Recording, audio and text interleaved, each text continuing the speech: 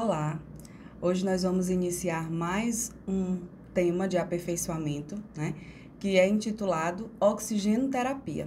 Então, quando a gente lembra de oxigênio, a gente vê isso desde os ensinos aí fundamentais, quando a gente tem a disciplina de ciências, e aí a gente aprende que o oxigênio é um ar, né? Está presente no ar, é um gás essencial para a vida humana. Então a gente vai falar sobre oxigenoterapia, que nada mais é do que a suplementação desse gás em forma terapêutica, tá? Então, ele é vital né, para a sobrevivência humana, desempenha um papel importante em vários processos biológicos, em vários processos fisiológicos. É amplamente disponível na crosta terrestre, tá? E comumente prescrito por profissionais de saúde. Então, apesar de ser um remédio, né? E aí a gente, quando a gente pensa do ponto de vista ético, a gente teria que o médico teria essa prescrição, mas a ciência já evoluiu ao longo dos tempos e hoje em dia o profissional de enfermagem, o profissional de fisioterapia, né, que são esses profissionais que estão em cuidados mais imediatistas ao doente, já são responsáveis aí pela prescrição e modulação desse recurso. Eu me chamo Nayara Bezerra, tá? Para quem não me conhece, sou fisioterapeuta de formação, Sou atualmente intensivista, tenho também especialidade nas áreas de neurofuncional e respiratória, mestre também em Ciências da Saúde pela Universidade Federal do Vale do São Francisco, doutoranda em Reabilitação e Desempenho Funcional pela Universidade de Pernambuco. Já tenho experiência há mais de seis anos na docência do ensino superior e na preceptoria também de graduandos e residentes, né? No, principalmente no programa de residência em terapia intensiva e atualmente é, atuo na parte assistencial da unidade de terapia intensiva do Hospital Universitário em Petrolina. O nosso módulo, ele é bem amplo, tá? Então a gente vai ter desde conceitos básicos até a parte avançada aí de oxigenoterapia, com evidências mais atuais disponíveis sobre o seu uso em situações agudas, em situações crônicas. Então, a gente vai abordar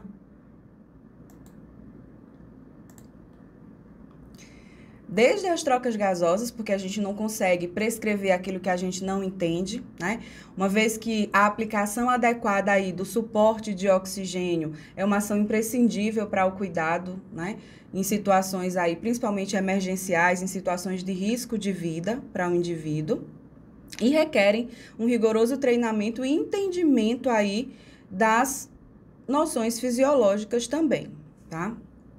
Então, a gente vai retomar um pouquinho dos conceitos de ventilação, difusão, perfusão. Né? Às vezes a gente entende aí o processo de respiração, o processo de captação, então, desse oxigênio como algo básico, né? como algo automático, que de fato acontece sem nem a nossa percepção, né? de forma involuntária. Contudo, para a gente entender de forma didática, de forma específica, a gente vai aí fazer essa divisão desde o processo ventilatório até o processo perfusional.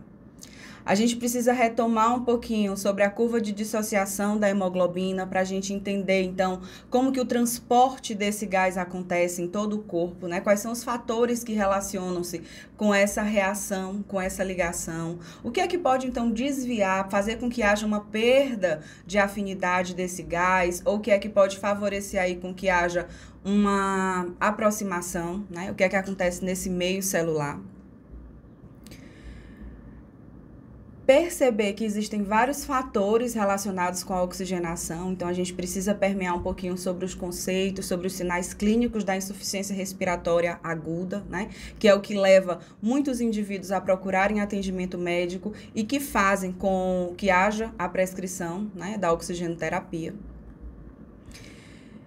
discorrer sobre as principais modalidades terapêuticas e quais são as interfaces para esse suporte de oxigênio. Então, a gente vai conhecer aí os dispositivos diversos, qual é a litragem, né? Como que a gente calcula a dose que está oferecendo para o paciente, quem pode utilizar determinado tipo de recurso. E como tudo que é, né? Avaliado, né? Precisa ser dado para alguém, a gente também precisa acompanhar, né? Fazer essa monitorização da prescrição. Então, acompanhar o indivíduo através principalmente da oximetria de pulso e da gasometria arterial para fazer essa correlação com sinais clínicos e o desmame depois dessa droga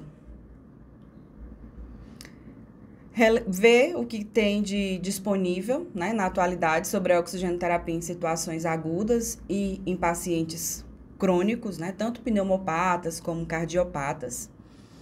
Praticar um pouquinho com caso clínico, para a gente ver o que está acontecendo a nível de concurso, tentar fazer com que o teórico não fique só teórico, mas a gente também tenha um momento prático. E apesar desse momento à distância, fazer com que haja uma simulação um pouquinho mais realística né, sobre a prescrição desses recursos é, de forma em ambiente controlado, né, de forma um pouquinho mais real.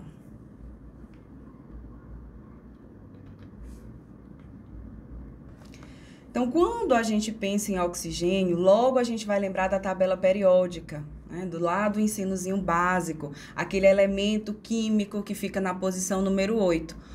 Contudo, isso é um pouquinho, como é que eu posso dizer? Ambíguo, né? Existe aí um duplo sentido. Porque o oxigênio que é essencial à vida, a gente usa uma molécula de dióxido de oxigênio. Então, a gente tem aí o O e o 2, né? Então, por convenção ao longo dos tempos, e isso já teve uma. Isso já ficou na prática dos clínicos de uma forma geral, a gente fala apenas em oxigênio, tá?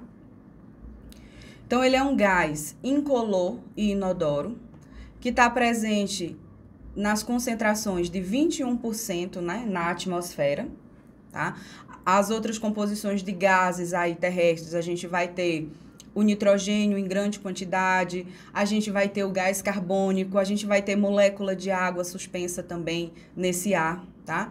E a gente vive num mundo global onde já houve muito desenvolvimento, então a gente também tem materiais particulados, a gente tem muito, muito gás que é poluente, né, que acaba compondo aí essa atmosfera também.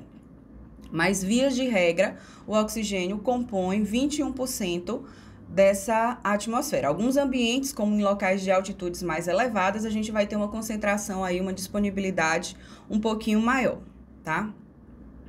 Ele ocupa basicamente 50% da crosta terrestre por peso, quando a gente pensa que ele também está dissolvido aí na molécula de água, né, do ar. Quando a gente lembra da composição química H2O, a gente vê aí o oxigênio presente nessa molécula. E a sua função principal, gente, é ser oxidante. Então, o oxigênio nada mais é do que para lembrar mesmo essa palavra. Então, ele faz uma reação química redutora, ele oxida reações. Então, ele reduz componentes a outros, tá? Então, a gente, a, a gente vê isso biologicamente acontecendo no corpo inteiro quando ele faz fosforilação oxidativa, né, nas células aí corporais, para poder liberar o ATP, que nada mais é do que aquela molécula de energia que é vital para as células terem todas as suas reações. Ele também está composto em grande monta nos materiais orgânicos, porque se liga com material carbonado ou com o próprio íon hidrogênio. Então, ele compõe muito do material orgânico que a gente tem disponível né, na Terra. E biologicamente, para os animais, para os mamíferos, a gente consegue captar esse gás através da respiração.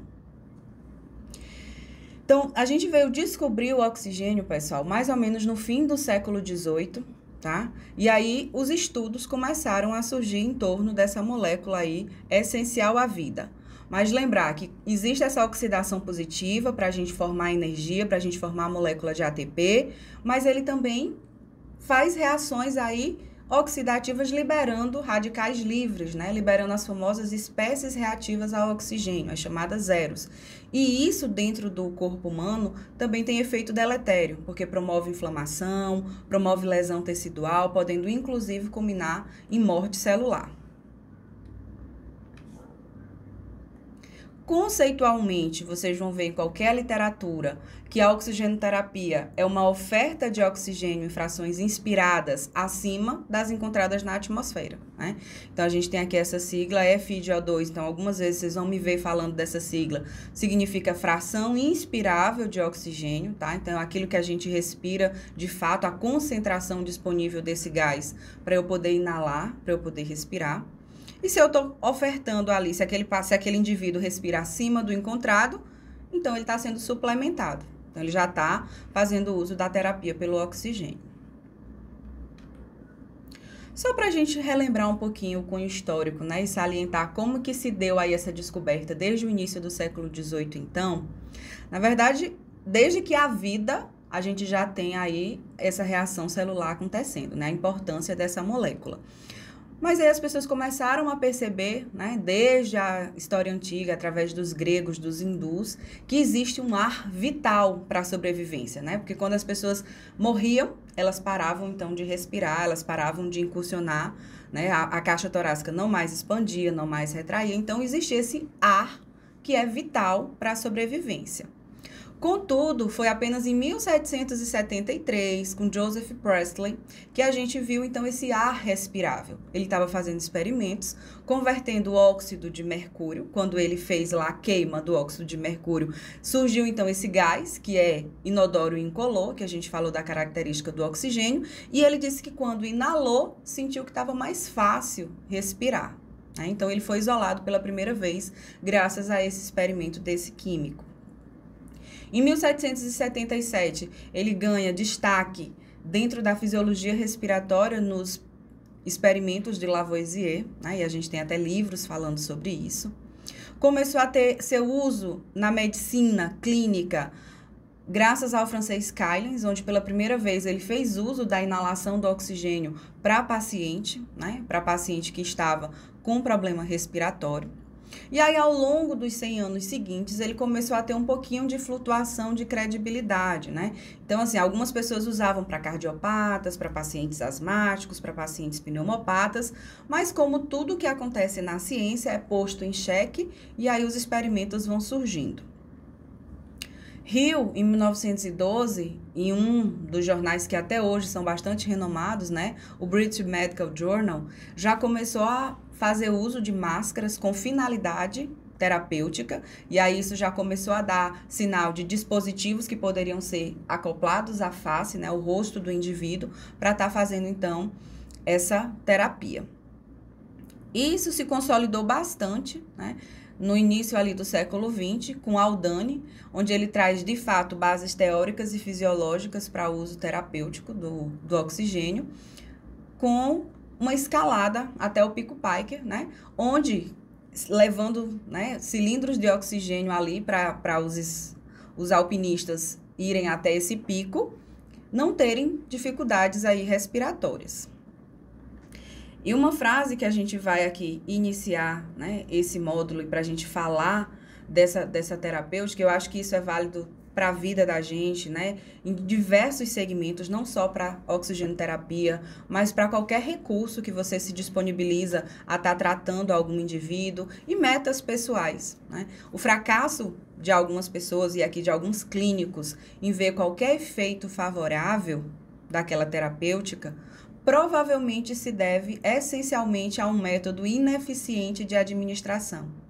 É isso já foi uma frase de Meltzer no, no JAMA, lá no início do século XX, mas permanece viva até hoje. Porque quando a gente não avalia da melhor forma, a gente não prescreve da melhor forma, a gente não trata o indivíduo da melhor forma. Então a gente não vai ter resultados favoráveis, né? A gente não vai ter reversão do quadro e muitas vezes a gente pode piorar determinado prognóstico ali de alguma patologia.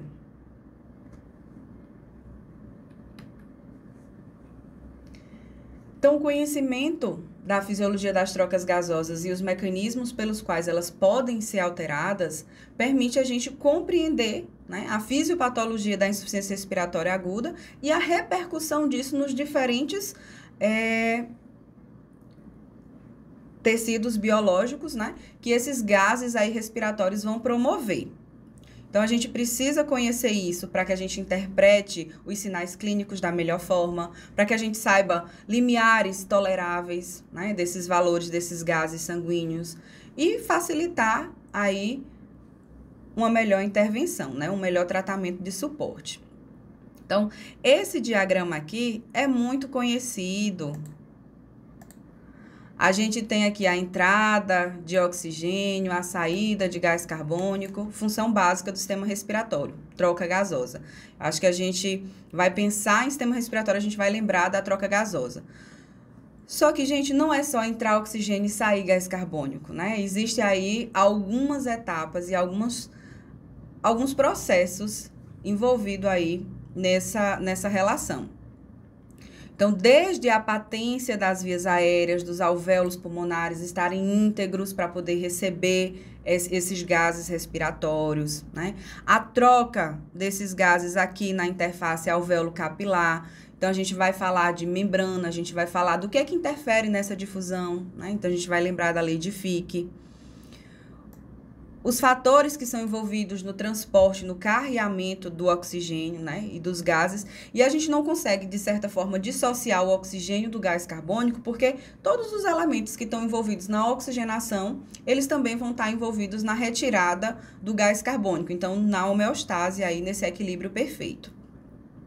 A gente lembra dessa respiração externa, né, que a gente vai ver aí o pulmão, essas vias aéreas pérvias, mas existe a respiração celular interna, aquela que acontece lá nos tecidos, né? Para que esse oxigênio seja entregue para o interior da célula e de fato a gente tenha a liberação de ATP e os nutrientes para poder haver aí todas as reações de uma forma geral. Né? E o retorno desse gás carbônico. A gente vai só lembrar de dois efeitos né, descobertos por esses respectivos autores, que é o efeito Bohr e o efeito Aldani, porque são efeitos que regulam aí essa troca gasosa. Então, o oxigênio ele é transportado pelo, pelo corpo da gente, né, através da corrente sanguínea, na sua maior parte ligado à hemoglobina, que é uma molécula presente dentro do eritrócito, né, dentro da célula vermelha do nosso sangue, a hemácia. Então, o efeito Bohr diz que a hemoglobina ela tem tendência a perder afinidade pelo oxigênio em ambientes mais ácidos e a ganhar esse oxigênio em ambientes mais alcalinos. Então esse efeito ele explica por que é que no alvéolo e no capilar pulmonar a gente tem, né, uma tendência maior que o oxigênio passe para o capilar e aí vá para a corrente sanguínea e no tecido próximo à célula ali, por exemplo, a uma célula do músculo, a uma célula renal, esse oxigênio saia da hemácia e vá para o interior da célula. Então, a isso a gente chama de efeito Bohr. O efeito Aldani já seria a tendência aí de perda de afinidade que a hemoglobina tem pelo CO2, né? Quando a gente tem uma alta concentração de oxigênio no sangue ou vice-versa.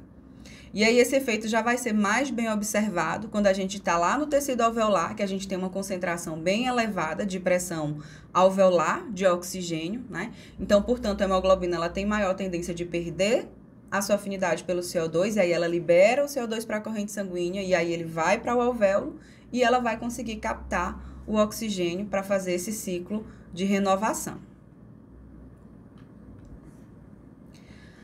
Quando a gente pensa no cuidado, e eu boto aqui paciente enfermo porque a gente pensa aí em diagnóstico, a gente pensa em intervenção. Mas se a gente pensasse só no processo de respiração de qualquer indivíduo, a gente precisa enfatizar duas coisas: a ventilação e a oxigenação. Porque a gente precisa entender na nossa cabeça que são processos distintos, né? São processos diferentes tá? Logicamente, sem ventilação eu não tenho oxigenação. Se eu não respiro, né, eu não consigo fazer troca. Mas a gente precisa entender que são processos diferentes. E por que que são processos diferentes? A ventilação ela é responsável principalmente pela eliminação do CO2, né, no corpo da gente. Mas não só isso, para também retirar toxinas, ser um meio de proteção, né? Através da ventilação a gente consegue fazer equilíbrio homeostático com troca de calor, com troca de umidade, né? Outros processos biológicos de uma forma geral. E ela acontece graças à mobilidade de ar através da caixa torácica. Conceitualmente, a gente lembraria de quê? De uma pressão negativa que se amplia dentro da cavidade né, pleural, dentro da minha cavidade intratorácica, graças a uma ativação muscular que eu vou ter dos meus músculos respiratórios, principalmente o diafragma, e isso vai resultar num gradiente de diferença pressórica, tá? Lembrar que quando a gente pensa numa equação de qualquer gás, e isso aí é física pura, a gente sempre vai ver um deslocamento de ar, de onde eu vou ter maior concentração para onde eu vou ter menor concentração. Isso é um transporte é, passivo, né? E simples aí que acontece em muitas moléculas disponíveis no ambiente. Então, se eu tenho maior pressão de gás fora, né, atmosfericamente, então quando eu consigo negativar a minha caixa torácica, esse ar vai gerar um fluxo de entrada de ar. E aí o efeito contrário, quando a gente relaxa essa musculatura, então eu consigo fazer com que haja uma pressão transpulmonar mais aumentada e aí sai vai ter um efluxo de ar, né? Uma saída de ar desse sistema respiratório. Eu poderia resumir de forma sucinta a ventilação nesse conceito. Enquanto que a oxigenação, gente, eu vou ter que, de fato, uma difusão, né? Do oxigênio, vou ter que entregar esse oxigênio para as células corporais. E é um processo que a gente viu ali naquele diagrama, que ele depende da interação de alguns sistemas. Então, eu preciso ter sistema pulmonar, ok. Eu preciso ter sistema hematológico, então o meu sangue precisa chegar até a célula. E eu preciso ter aí o ejetor, o sistema cardiovascular também, para fazer essa entrega. Então, quando a gente tem aí um choque hemorrágico, alguém que sofre uma grande lesão por arma branca, né, por arma de fogo, ou qualquer tipo de ferimento, e ele perde muito sangue, às vezes a ventilação dele está intacta. A capacidade da caixa torácica dele de se expandir de se retrair é ok. Mas a oxigenação, eu vou ter aí um fator que vai interferir né, nesse meu equilíbrio e as células vão morrer. Eu vou ter um processo de necrose, podendo culminar até na morte desse indivíduo.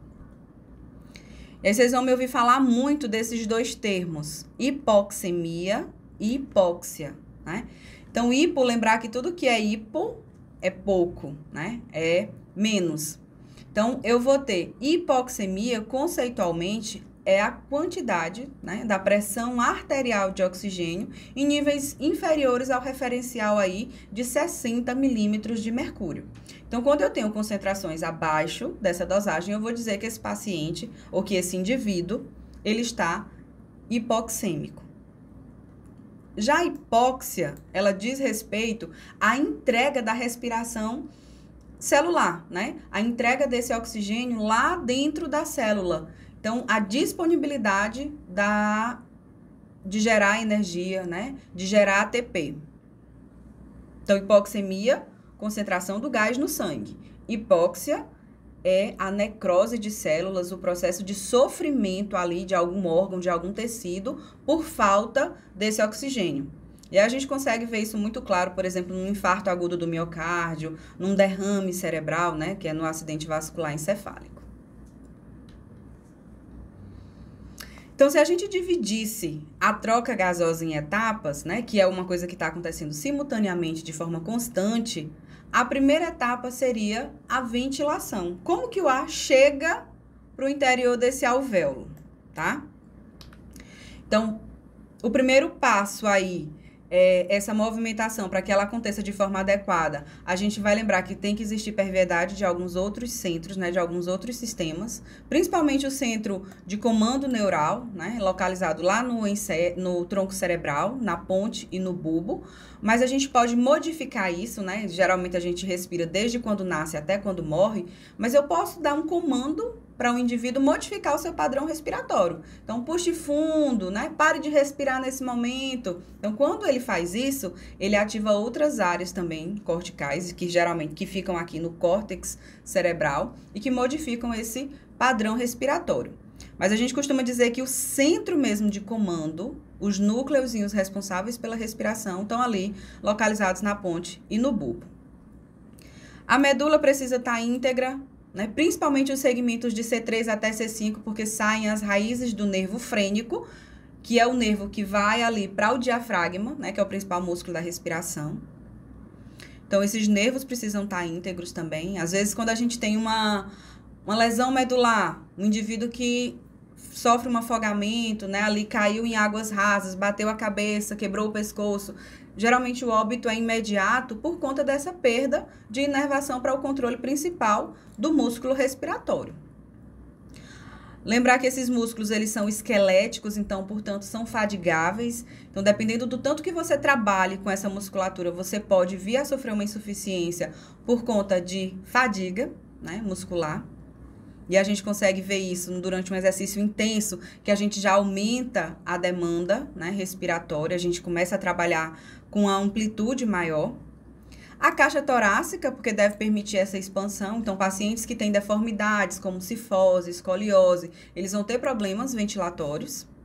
E as vias aéreas, elas precisam estar íntegras para permitir o fluxo aéreo. Então, quando a gente tem, por exemplo, uma broncorreação de constricção, como acontece numa crise aguda de asma, né? Onde a gente vai ter o estreitamento dessa via aérea, ou alguém que se engasga por algum corpo estranho, também não vai ter processo ventilatório, mesmo que o comando cerebral esteja ok.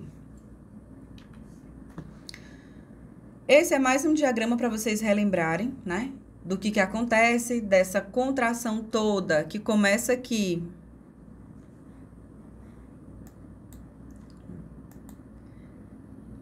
No diafragma, né? Então, que faz com que haja uma descida dessa musculatura, e aí ele consegue fazer com que as costelas e o externo se eleve, negativo interior da cavidade pleural, o A entra, tá?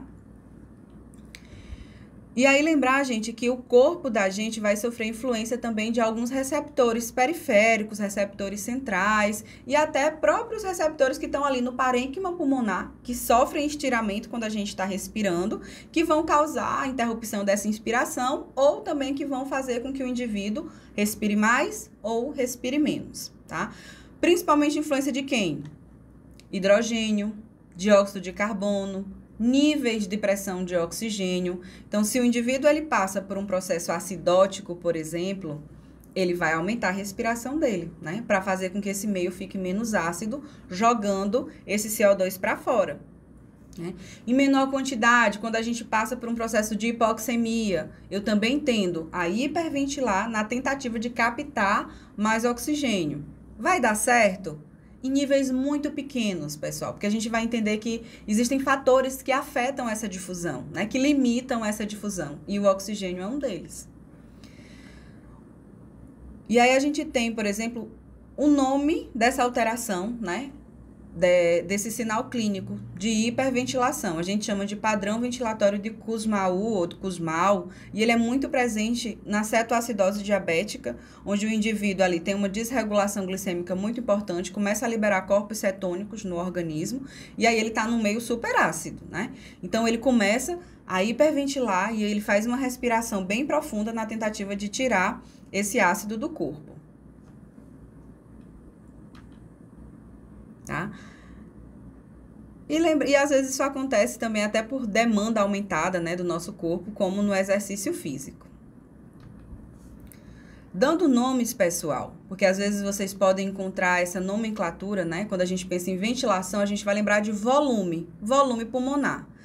E aí isso já é, já é interessante para a gente entender noções de ventilação. Quando vocês quiserem ventilar um indivíduo de forma artificial, a gente precisa lembrar que o que é que eu vou disponibilizar para aquele indivíduo? Um volume de ar corrente, tá?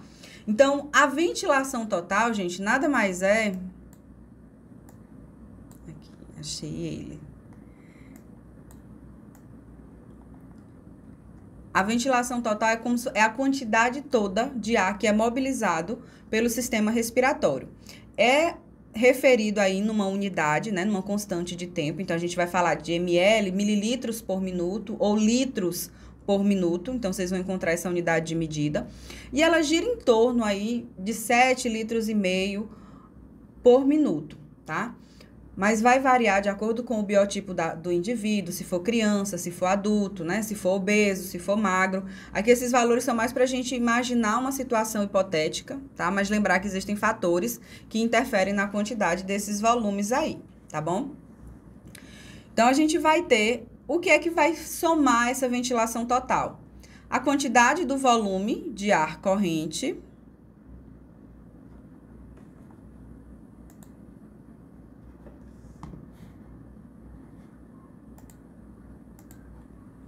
aqui, a gente vai ter esse volume de ar corrente. Vamos dar aí como se um, um valor, né, para 500 ml em cada incursão que esse, que esse indivíduo faz. E aí, esse indivíduo está respirando 15 vezes. Então, quando você faz essa, esse produto, né, 15 vezes 500, a gente vai ter essa quantidade de ventilação total.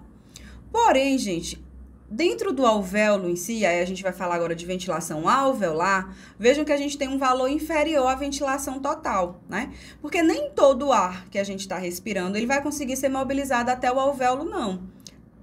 Parte desse ar vai ficar em um espaço que a gente chama de espaço morto anatômico. E cada respiração a gente deixa aí em torno de 150 ml, né? Então a importância de a gente respirar é até para renovar também esse espaço morto, né? Então, vias de regra, a gente vai ter um valor que de fato chega aos alvéolos em torno de 5 litros por minuto, tá? E aí aqui a gente tem o sangue capilar fluindo próximo a esse alvéolo. A gente tem um débito, de uma forma geral, de 5 litros, né, por minuto, um débito cardíaco. Mas chegando em cada capilarzinho, a gente vai ter porções menores de quantidade de sangue, né, em torno de 70 aí ml. Então lembrar que nem todo o volume de ar que a gente respira, ele vai estar disponível para troca gasosa. Então, só para vocês verem, né? É, como que a gente chega a esses valores totais. E aí, a ventilação alveolar seria esse volume de ar corrente menos o volume que está no espaço morto. Existem formas da gente fazer essa medida, tá? É, existem exames chamados, por exemplo, de espirometria, pletismografia, onde esse indivíduo vai para um consultório, ele fica dentro de uma câmara, bocais são conectados ao sistema respiratório dele para tentar isolar todo o gás que é inspirado e expirado. Tá? Então, só para vocês terem uma noção aí de que a gente consegue, de fato, fazer essa medida de ventilação alveolar, tá? Então, é importante a gente fazer a diferença do volume do espaço morto anatômico, tá? Para fazer é, essa medida e ver o que é que chega dentro do alvéolo. Tá?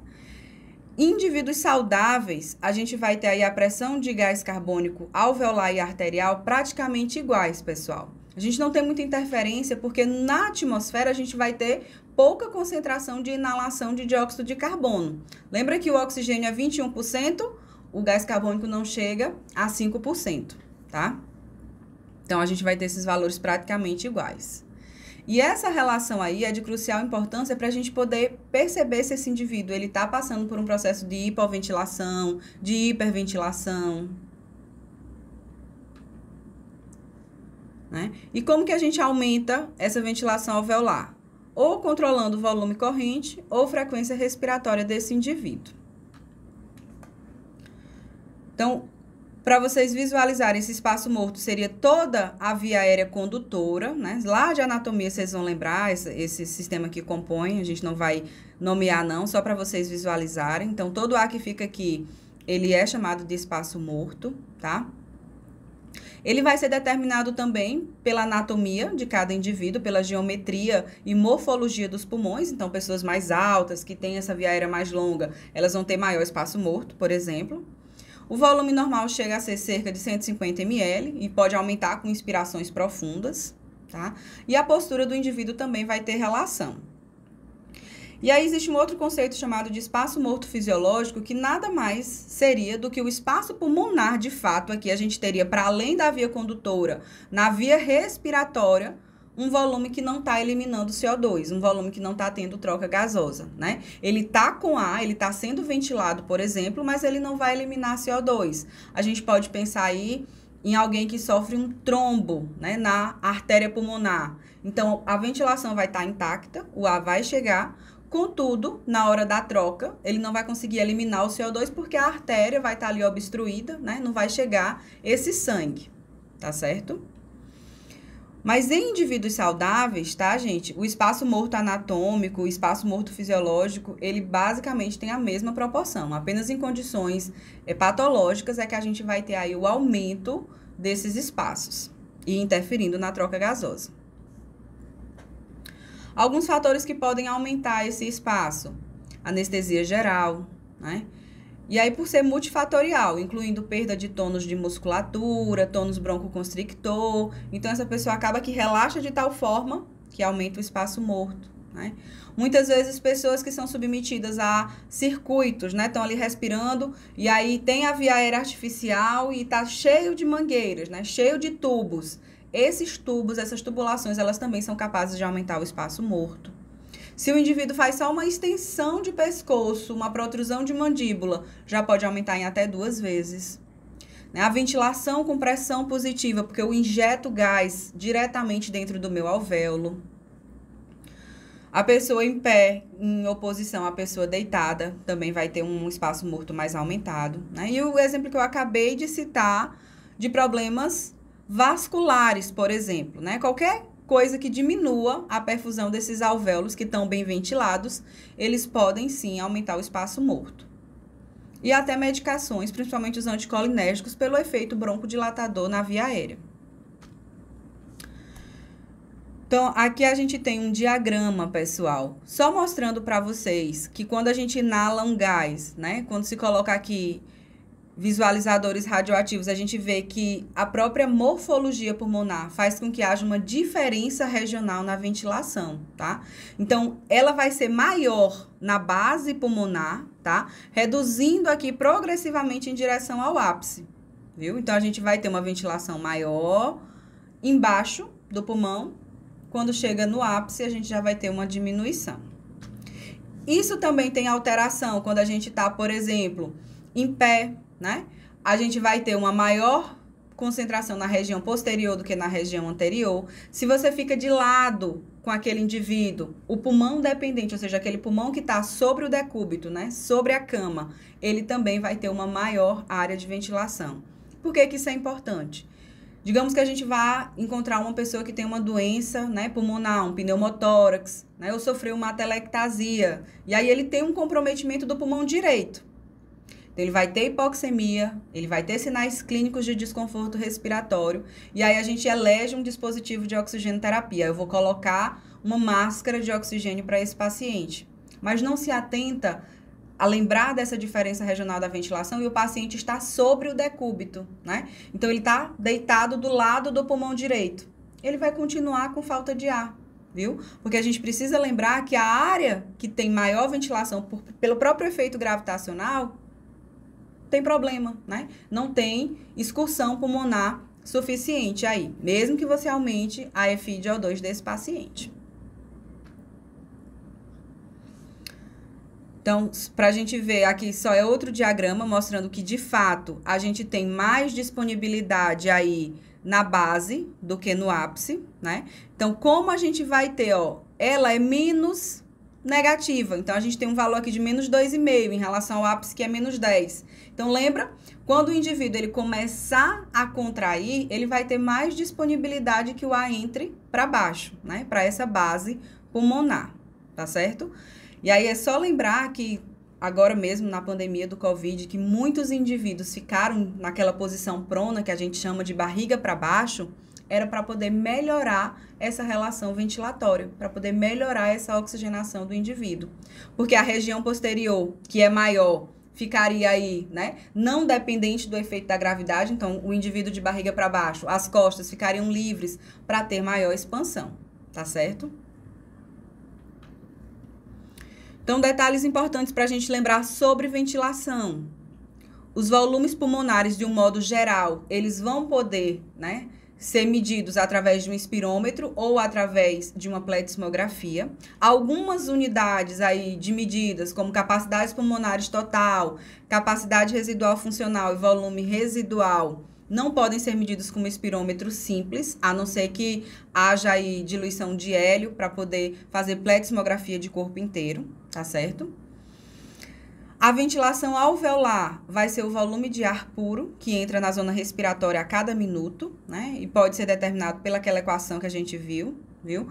De frequência respiratória vezes volume corrente menos o volume do espaço morto. A concentração do CO2 no gás alveolar e no sangue arterial é inversamente proporcional à ventilação alveolar. Então, quanto mais o indivíduo ventila, menos CO2 ele vai ter e vice-versa. O espaço morto anatômico é basicamente volume de via aérea condutora. Quando a gente pensa em medir esse volume através da concentração de nitrogênio, com uma única inspiração, a gente consegue ter essa, esse valor. E esse espaço morto é um volume que não elimina CO2, tá? E o que a gente falou, as bases pulmonares são mais bem ventiladas do que os ápices por conta do efeito da gravidade. E aí, uma vez que o ar chegou no alvéolo, a gente vai ter o intercâmbio gasoso alveolar, né? O processo de difusão. É um transporte passivo, né, de gases através de uma membranazinha bem espessa que a gente chama de membrana alvéolo capilar e basicamente existem leis que regulam essa difusão, né? Então, a principal delas é a primordial é que a difusão ela é a favor de um gradiente de concentração. Então, sempre a gente vai ter um transporte passivo, de onde tem mais para onde tem menos. Mas lembrar também que vai depender da solubilidade desses gases respiratórios. Então, as próprias características desses gases fazem com que eles atravessem ou não. E aí, nisso, o CO2 ganha destaque em relação ao oxigênio porque o CO2 é um gás até 20 vezes mais difusível do que o oxigênio. Então, às vezes, a gente explica uma hipoxemia e o indivíduo não ter aumento de CO2. É por conta dessa característica difusional, tá? Então, esse processo de atravessamento né, do ar né, pela membrana alvéolo capilar, a gente chama de hematose. Então, quais são essas leis que regulam? A gente vai ter a lei de Dalton, na verdade é conhecida como a lei das pressões parciais, ela só estabelece que uma pressão total de uma mistura gasosa, ela é igual à soma da pressão parcial de cada um dos gases que compõem a mistura. Então lembra que a gente respira ar, e esse ar ele tem outros elementos aí, outros gases. Então o oxigênio na concentração de 21%, o óxido nitroso 78% mais ou menos. Esse ar aqui a gente vai pensar no material particulado, né? Ou ar comprimido de uma forma geral água e o CO2, ó, 5%, tá?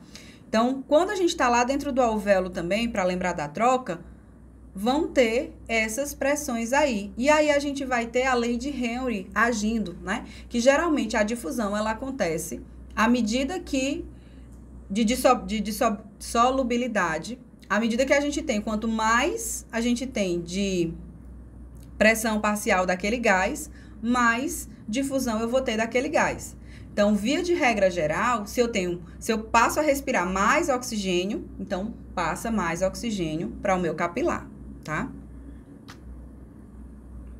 A lei de Fick, né, também bastante conhecida aí pelos, estudo, pelos estudos de fisiologia, né, respiratória, ela fala que o quê? A taxa de transferência de um gás através da lâmina de qualquer tecido é proporcional à área daquele tecido, né, a disponibilidade daquele tecido, o tamanho, mas também a diferença entre a pressão desse gás dos dois lados. E ela vai ser inversamente proporcional à espessura do tecido. E aí o sistema pulmonar, gente, é criado para essa finalidade. A gente vê aquelas microscópicas unidades alveolares. Se a gente fosse estender num tapete, a gente teria em torno de 100 metros quadrados de área disponível para troca de membrana alvéolo capilar, tá?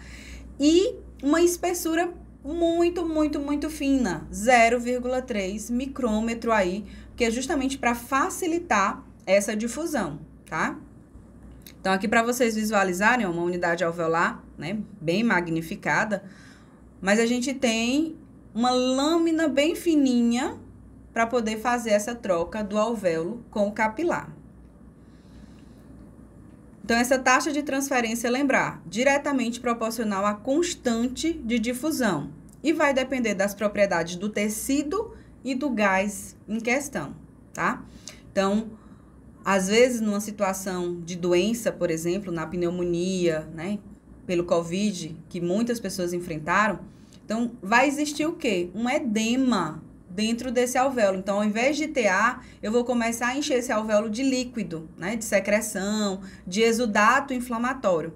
Então, essa membrana que estava fininha, ela vai começar a sofrer um espessamento, tá? Outras doenças, como uma fibrose pulmonar também, que perde tecido conjuntivo. Então, espessa-se essa membrana. E aí, lembrar da lei de Fick. a taxa de difusão ela é inversamente proporcional à espessura. Então, eu vou ter problemas na difusão, tá?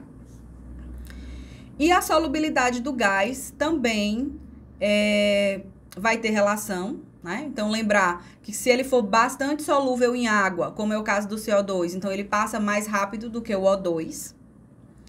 E inversamente proporcional à raiz quadrada do seu peso molecular. Ah, Nayara, então isso explica por que, que o nitrogênio, que tem ali 71% do nosso, né, da nossa respiração, ocupando ali o gás alveolar, ele não passa para a corrente sanguínea.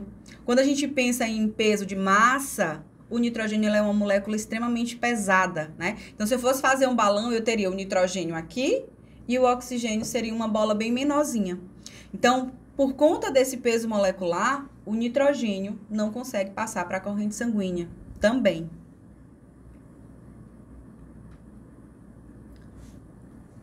Então, diretamente proporcional à área, inversamente proporcional à espessura, né?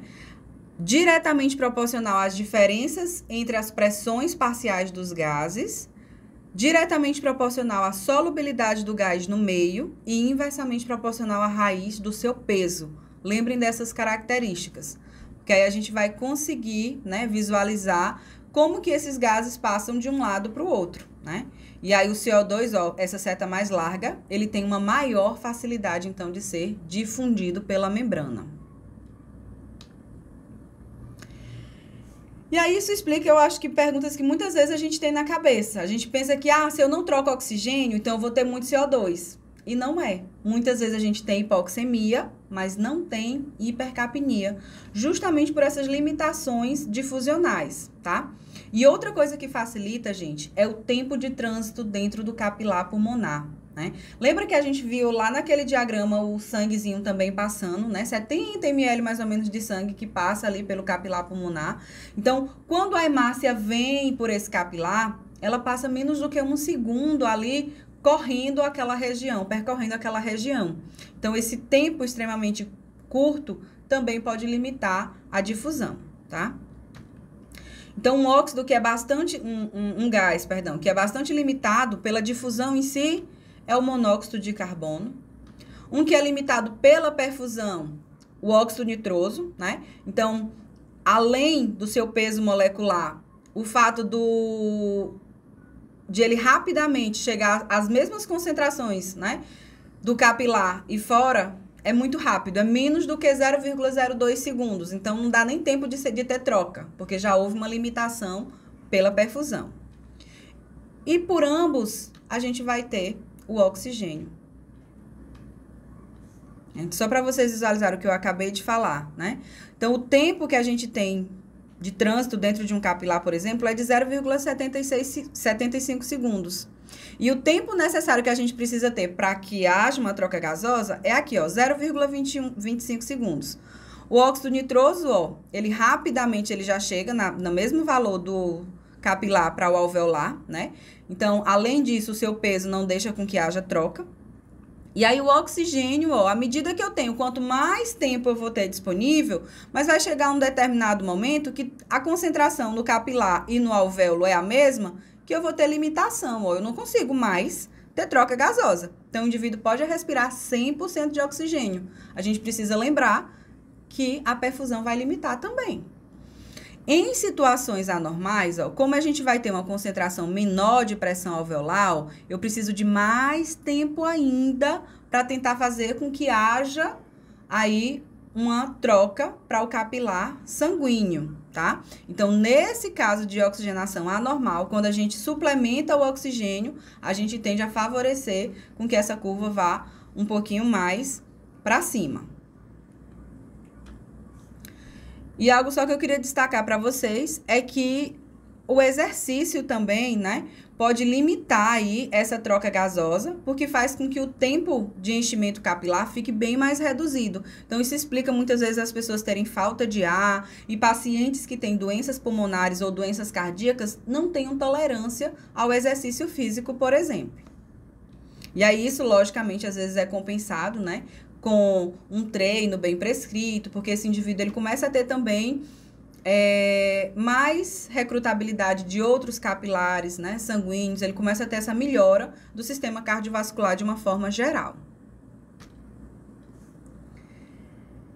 Então, essa difusão, lembrar, tá, gente?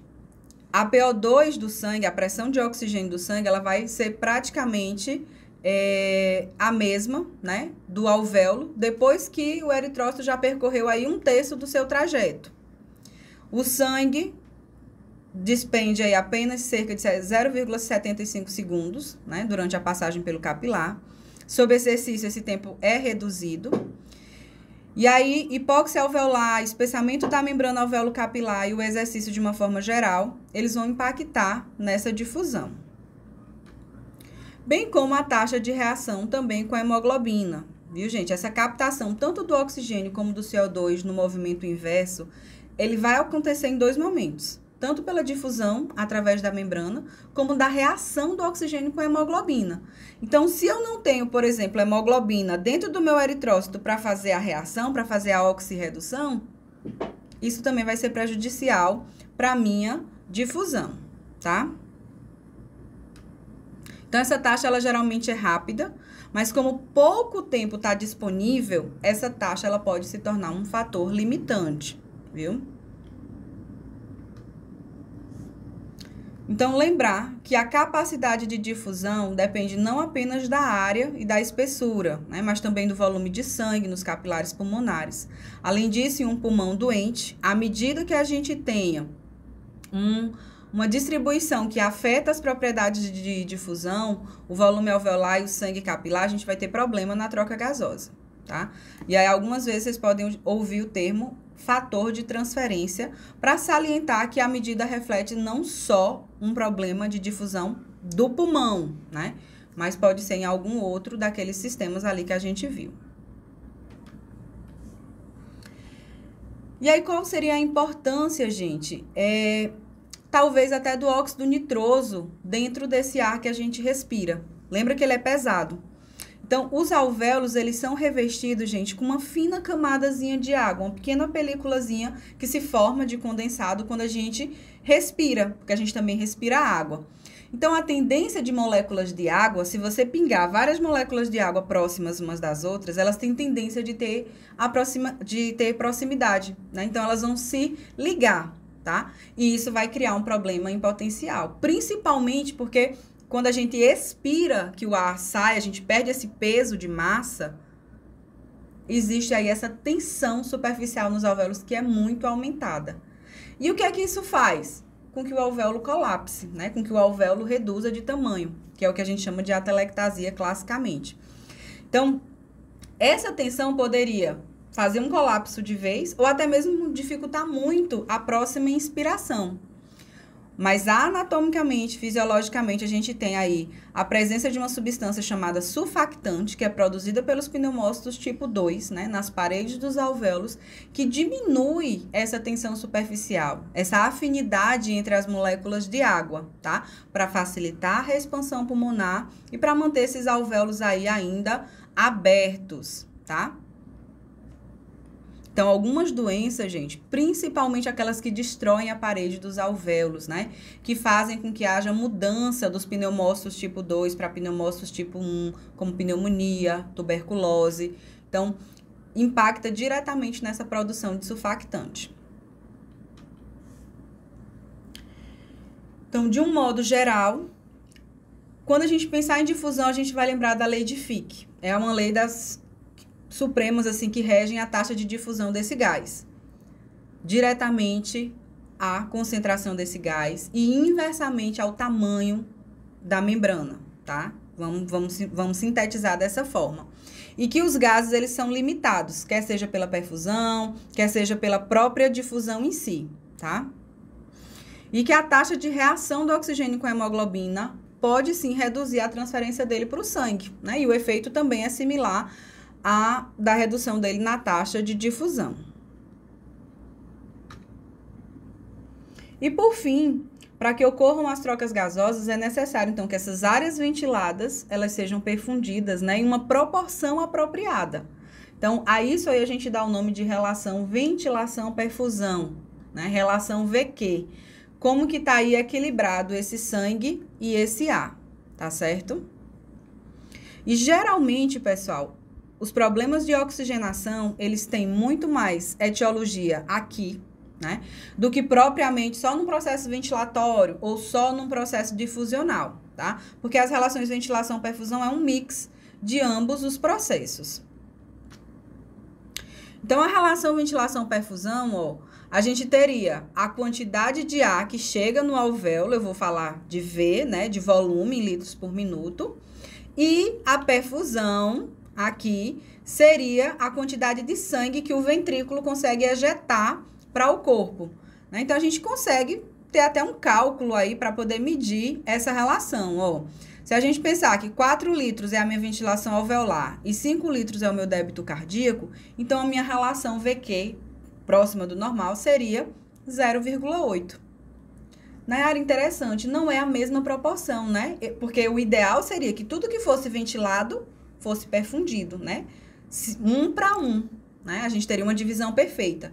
Mas isso é uma situação muito hipotética de perfeição, porque a gente já viu que existe diferença regional morfologicamente explicada pelos pulmões, né? Pela, pelas regiões de ventilação. Da mesma forma, pela perfusão. Então, a gente vai ter aí uma relação próxima de 0,8, certo? Então, a gente teria aqui uma balança perfeitamente equilibrada, de fato não acontece. A gente tem é, áreas né, que são mais bem ventiladas do que outras. Então, lembrar, gente, somente de que o quê? Quando a gente tem uma relação VQ maior que 0,8, a gente vai imaginar que a ventilação ela vai ser maior do que a perfusão. Então, dentro da minha balança, eu vou ter um pêndulo maior para minha área ventilada, tá? Isso aqui a gente vai chamar de espaço morto, lembra? Tem o ar, mas não tem o sangue. Então, eu tenho uma relação VQ aumentada. Quando a gente tem uma relação VQ diminuída, eu já vou ter um desequilíbrio causado por um, uma perfusão normal, né? Vamos assim dizer, e o meu problema vai estar na ventilação, que não acontece. O meu alvéolo ele é mal ventilado. E a isso aqui eu vou chamar de shunt ou efeito shunt tá? Esses dois termos vocês encontram muito dentro da etiologia da insuficiência respiratória, né? E dá nome a essas causas. Ah, uma telectasia, por exemplo, causa um efeito shunt, porque eu não tenho ar dentro do meu alvéolo, eu só tenho sangue. Um tromboembolismo pulmonar causa um espaço morto patológico no meu parênquima pulmonar, né? Porque eu vou ter o meu alvéolo ventilado, mas o capilar que deveria passar ali não vai ter sangue. Então, essa pressão do O2 do gás alveolar é determinada pelo equilíbrio entre esses dois processos, né? Tanto pela remoção do O2 como a renovação contínua dessa ventilação, tá? E essa taxa de remoção também vai ser comandada até pelo próprio consumo de oxigênio dos tecidos. E em repouso varia muito pouco. No exercício, a gente hiperventila porque os músculos precisam de mais concentração de oxigênio, tá? E aí lembrar que essa ventilação vai ter essa relação com PO2 alveolar e PCO2 também alveolar. Aqui só para que a gente visualize que também é uma situação bem é hipotética, tá, minha gente? A gente teria aqui a concentração, a quantidade de O2 alveolar, né, em torno de 150, à medida que ele vai chegar até aqui no tecido, diminuindo a sua quantidade. Em uma situação de hipoventilação, né, ou uma situação de hipoxemia que a gente tenha, essa linha ela vai ter uma redução, porque as quantidades aqui de pressões, tanto no alvéolo como no capilar, elas tendem a ser reduzidas. Então, o que é que pode causar hipoxemia? Basicamente, quatro mecanismos, né, que vão levar o indivíduo aí talvez a necessidade de oxigênio terapia. Hipoventilação é a principal, uma das principais, né? Redução de difusão, o efeito Shunt que a gente falou e o desequilíbrio então entre essas áreas ventiladas e áreas perfundidas. A hipoventilação alveolar, minha gente, ela é caracterizada por um alto nível de pressão arterial de CO2, tá? Já que uma ventilação adequada seria necessária para eliminar. A gente viu que o processo de ventilação ele é responsável pela eliminação do CO2, tá? Então, numa ventilação anormalmente baixa, a gente vai ter uma PO2 baixa e uma PaCO2 elevada. Geralmente isso é causado por fármacos, principalmente narcóticos, né, como morfina, barbitúricos, danos na parede torácica que fazem com que a ventilação alveolar seja reduzida, né, paralisia dessa musculatura respiratória. Então, sempre, sempre a gente vai ter o quê? A hipoventilação promovendo aumento da minha pressão, tanto arterial como alveolar de CO2, e uma redução da minha pressão alveolar e arterial de oxigênio. Além de comando central prejudicado, minha gente, a gente também pode ter outras causas, né? Alterações medulares, raízes nervosas e até da própria junção neuromuscular, né? Porque vai impactar na contração do músculo. Então, só para dar nomes para vocês, exemplos é, lesões de tronco cerebral, como o AVC, o TCE, né? Os TRMs a gente já falou. Doenças neuromusculares, como Guillain-Barré, né? Que é uma paralisia desmielinizante. Doenças miastênicas. E a própria cifoescoliose que a gente já falou. Então, sempre a gente vai ter redução dessa pressão de oxigênio alveolar também, tá, gente? Na hipoventilação. Lembrem que na hipoxemia a gente vai ter uma diminuição do oxigênio no gás arterial. Eu posso ter uma pressão de O2 alveolar alta, mas dentro do meu capilar isso vai estar tá baixo. E aí, se a gente aumenta a ventilação, esses, essa, esses gases eles podem demorar alguns minutos aí para assumir seus novos valores de estado de equilíbrio. E lembrar que como a gente tem mais reserva de CO2 e ele é muito mais dissolvível em água, eu tenho mais tendência de já melhorar o meu distúrbio do CO2 do que o meu distúrbio do O2, tá? Então, ela tem geralmente uma boa resposta à oxigenoterapia, porque o fato de o indivíduo, mesmo que ele respire poucas vezes, né, ele respira ali cinco, seis vezes, eu consigo melhorar a minha quantidade de oxigênio, tanto alveolar como arterial. Porém, se ele continua sem ventilar, ele ainda vai se manter hipercápnico, tá? Então, a diferença alveolo arterial, geralmente, ela é normal. A gente não tem problema na membrana capilar, né? A PaCO2 é alta e elas vão se mover na direção oposta na mesma extensão que existir a concentração desses gases e o indivíduo ventilar, tá?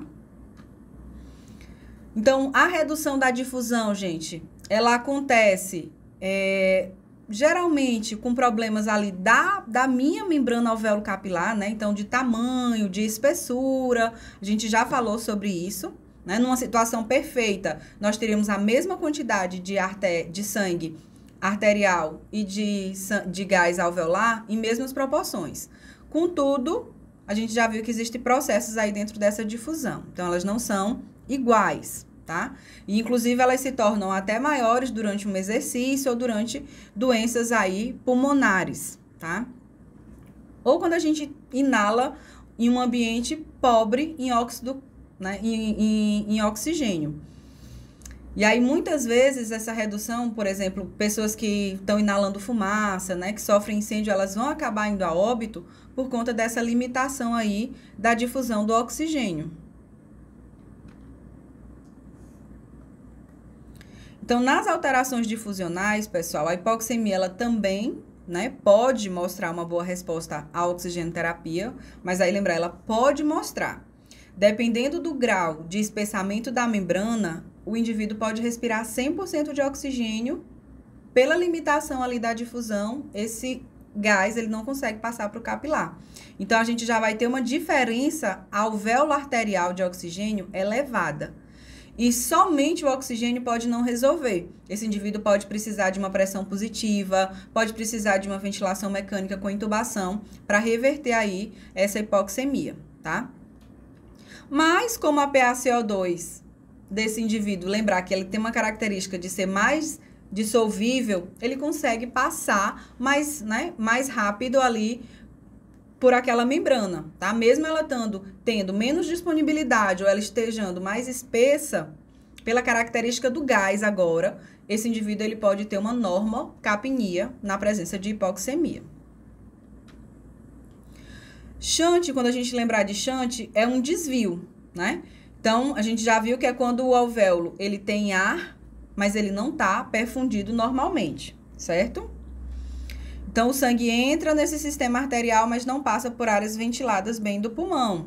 Né? Num pulmão normal, a gente vai ter essa coleção é, pelas veias pulmonares e até perfusão de toda a árvore brônquica. Esse shunt, gente, ele também acontece no coração, né? De forma fisiológica, inclusive. A gente tem pequenas quantidadezinhas de sangue venoso coronariano que vão para o ventrículo direito, né, do esquerdo para o ventrículo direito, por conta de veias cardíacas mínimas. Mas esse sangue que se mistura, o sangue venoso, né, com o sangue arterial, é muito mínimo para impactar na troca gasosa. Agora, a partir do momento que a gente tem, por exemplo, uma fístula arteriovenosa pulmonar, esse indivíduo pode ter problemas maiores de oxigenação.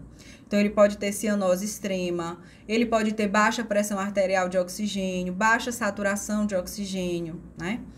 Para pacientes cardiopatas que têm baixa fração de ejeção do ventrículo esquerdo, esse sangue fica refluindo, né, para o ventrículo direito e fazendo essa mistura aí, tá? Então, só para vocês visualizarem aqui, às vezes, assim que o bebê nasce, como ele ainda não tem fechamento aí do, de alguns ósteos das câmaras cardíacas, é comum que ele tenha a cianose do recém-nascido, que é para ser é, rápida, né? No chante pulmonar, quando isso acontece, gente, a respiração ela fica mais laboriosa, ela fica mais intensa.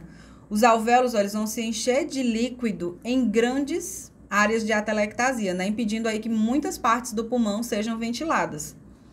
Então, quando a gente imaginar é, em doenças pulmonares, o chante intrapulmonar ele vai ser uma das principais causas de hipoxemia, né? Então, aqui para vocês visualizarem ó, o raio-x, nessa, nessa área aqui pulmonar era para a gente ter toda hipertransparente, né? Toda enegrecida, para poder mostrar que está tendo uma boa ventilação. Contudo, como a gente tem edema, como a gente tem secreção, isso aqui faz com que aumente áreas de consolidação e aumente mais é, essas áreas de hipoxemia, tá? Então, não existe a, a hipercapnia, ela vai ser incomum, mas nunca é impossível. Então, quanto mais chante eu tenho intrapulmonar, geralmente quando isso aumenta aí dos 50%, minha gente, esse paciente ele começa a ter hipoxemia e hipercapnia, sinalizando para a gente uma gravidade ainda maior dessa insuficiência respiratória dele, tá?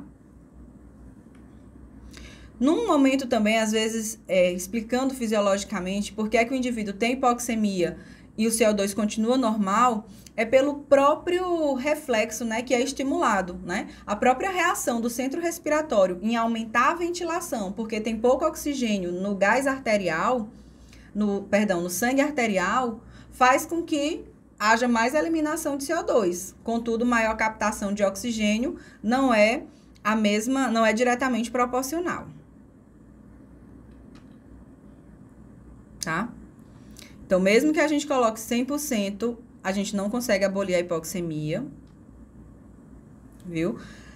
Alguma quantidadezinha a gente consegue aumentar em áreas, né, que são ventiladas, e a gente já falou que geralmente um shunt não resulta em hipercapnia, a gente acabou de explicar por quê, tá? Então, quando é que a gente vai ter também é, desequilíbrio na relação ventilação-perfusão, né? Aqui só para vocês visualizarem, ó, o que é que seria aqui as áreas ventiladas, as áreas perfundidas. Então, a gente não tem o ambiente perfeito, tá? A gente já falou sobre quando essa balança tem uma menor relação, né, VQ, e quando essa relação é aumentada. Para ficar na cabeça, baixa relação VQ sem ar, espaço morto. Alta relação VQ sem sangue, né? Áreas de. Perdão, perdão. É, quando a gente falar em baixas relações VQ, a gente vai estar tá falando de áreas de chante. Eu tenho sangue, mas eu não tenho ar, né? A gente visualiza aqui esse tampãozinho no alvéolo. Mostrando que o que? O meu oxigênio é baixo em concentração, tá?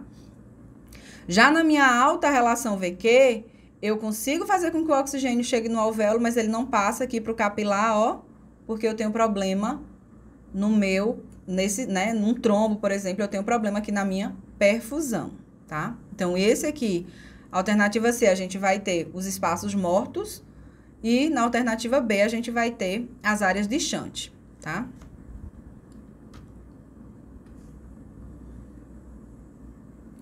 É, é o mesmo a mesma relação de desequilíbrio, só fazendo agora uma relação aqui do CO2 com o oxigênio, né? Mostrando o que é que acontece ao longo é, dessa linha, né? Até o final da gente inspirar esse gás. E que essa razão de troca respiratória, né? Essa eliminação aí de CO2, também sofre influência aí das diferenças regionais pulmonares, tá? Sendo mais elevada no ápice do que na base também. Então, os desequilíbrios vão, né, é, ser responsáveis, a maioria, pelos problemas de troca gasosa, né? Então, uma relação normal vai determinar a quantidade de troca em todas as unidades pulmonares, tá? Existem diferenças aí regionais que interferem no pulmão humano, tá? Que também modificam esses padrões de troca. E mesmo que a gente tenha um problema que interfira no CO2, eu consigo corrigir por meio do aumento da minha ventilação alveolar, mas em contraste, eu não consigo abolir por completo a minha hipoxemia, resultante desse desequilíbrio com esses incrementos de ventilação, certo? Então, em suma, pessoal, a gente vai percebendo que ventilação e oxigenação são processos fisiológicos distintos, né? E até separados quando a gente estuda assim os processos de forma diferenciadas, né? Então a gente tem aí a ventilação como essa entrada e a saída desse ar, né, no do sistema respiratório. Se a gente hiperventilar, a gente vai diminuir potencialmente a quantidade de PaCO2, né? Mas os níveis de PaO2 não necessariamente mudarão tanto. Por outro lado, se a gente respira uma alta concentração de oxigênio, né? Mas não aumentar ou diminuir a frequência respiratória, se a gente mantém a mesma frequência respiratória, o meu conteúdo arterial de oxigênio vai aumentar muito, mas a minha PaCO2 não vai mudar, tá? Então, é importante, pessoal, a gente fazer o quê? Integrar as informações de avaliação clínica que a gente está fazendo do nosso indivíduo, da monitorização constante para poder tomar as decisões clínicas corretas, né? Vai ser a chave para o sucesso tanto da prescrição como para a administração da oxigenoterapia. Então, saber a diferença entre um processo ventilatório puramente e o processo de oxigenação, gente, que vai muito além do que somente o oxigênio entrar, né? A gente já viu os fatores que influenciam até no transporte disso para o tecido, é o conceito chave para a tomada de decisão terapêutica, tá? Então, fornecer oxigênio suplementar para um indivíduo pode sim adiar o início de uma hipoxemia ou mesmo corrigi-la, mas também pode retardar a percepção e assim o diagnóstico precoce de hipoventilação alveolar então, quando a gente fala em terapêuticas, a gente nunca né, deve pensar em, ah, eu já vou colocar o oxigênio para esse indivíduo de cara. E isso é muito, gente, muito comum em ambientes de emergência. Então, às vezes, o, o paciente chega, o paciente nem tá com sintoma respiratório, assim, de de tá com falta de ar, mas o fato de ele ter, por exemplo, sofrido um acidente, né, fraturado algo, chegou dentro do hospital, alguém coloca oxigênio suplementar para ele, né? Ou é muito comum, doutor, tô com falta de ar. A primeira coisa que vem na mente de alguém é fornecer oxigênio suplementar, né? É incrementar aí com algum tipo de dispositivo. Contudo, gente, a oxigenoterapia não é para falta de ar, é para hipoxemia.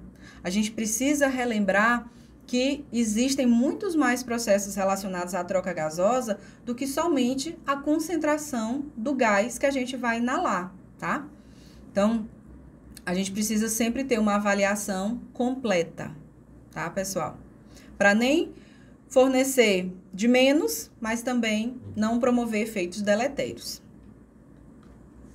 Então, vai ficar aqui algumas sugestões de leitura, né? Como sempre, livros que remetam a conteúdo de fisiologia respiratória para a gente entender esse primeiro momento de troca gasosa é de suma importância, porque eu não consigo prescrever, a não ser que eu seja um robô, né? E aí a minha decisão seja extremamente mecanici mecanicizada, né? Para aquela situação. A gente precisa compreender que até os mesmos indivíduos, dois pacientes com Covid, por exemplo, eles podem ter trocas gasosas completamente diferentes, né? Porque existe morfologia pulmonar diferente um do outro. Então, a gente precisa compreender esses aspectos aí fisiopatológicos também. Deixo para vocês os meus contatos, né? Sempre à disposição. E uma frase, né? Que a gente precisa começar sempre de onde está, usar o que tiver e fazer o que puder que certamente aí a gente vai estar tá tendo, saindo do ponto inicial de parada, né? A gente vai estar tá se movimentando.